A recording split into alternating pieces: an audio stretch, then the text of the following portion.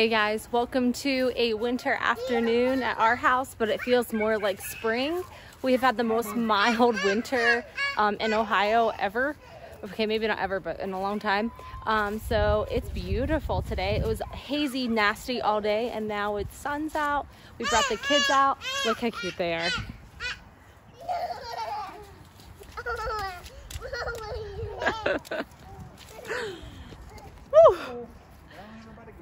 In the mud. Are we muddy?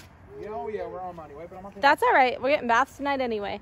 Um, Noah got his very first official pair of barn boots. Carter's was having a sale, and so I got them both sandals for summer. I got Noah some boots. But what we want to show you today is the cold box and the progress.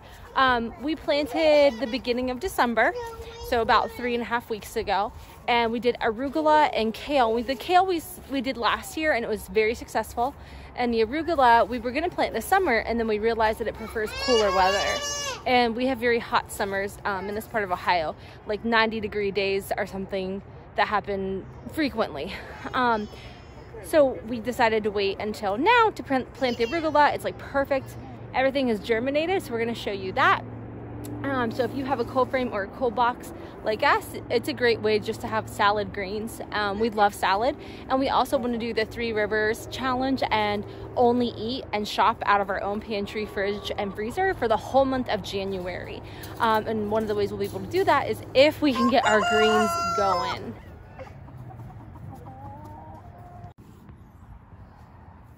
Good evening, everybody. Uh, we just wanted to give you a little update on the cold box. So here we're trying it again this year. We're late to the party, but here we have in the back, we have some kale planted. And up front, we have arugula. So it'd be really nice if it took off like it did last year. Last year it did really, really well. Um, but it'd be great if we, like I said, if we got it take off again this year. But we're starting later this year. I think last year we got started um, October-ish, I want to say. Anyway, so anyone that's wondering about the cold box, um, we built this ourselves. And so inside here, on the inside, I don't know if you can see down in there, we have a shower curtain liner just folded in and on itself so it's doubled up. We stapled that all in and then we took black garbage bags and lined on the inside. Excuse me, so that's double layer protection and um, the black garbage bags add another, a third layer of protection because uh, that, that shower curtain's doubled up. So there's a third layer of protection with these black garbage bags. We cut them open and that, that dark color attracts the sunlight and the heat. So it helps warm the cold box. So yeah, it's pretty, pretty neat. Let's put our little handle on it. And there you go. And then we'll take a little stick over here in the weeds, prop this up when it's warmer.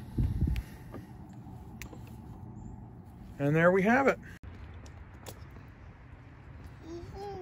Don't fall in, silly goose. Splash, splash your feet. Good job. So we are taking a little evening walk. Evie's on her balance bike. Noah's in the stroller here. But when we get back, I want to show you guys a couple herbs that are growing in this winter weather. Um, because it's been so mild. My parsley, my oregano, and my lavender which I did not expect at all, are doing really well. So I have to show you guys that.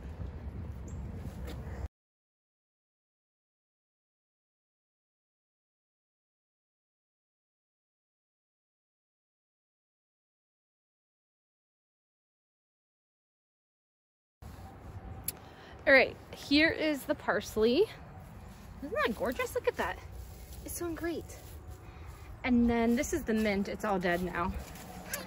And then that's more dead plants. Okay, and this is my lavender. I grew this from seed and it just is lovely and it has new growth on it. I'm guessing it's a little bit protected, but um, it's not like I've ever covered it and it smells amazing. And then my feverfew is still kind of there. And then let's see. Oh yeah, we have more lavender down here as well. So we have this little guy and this and this. This is all kind of spreading here.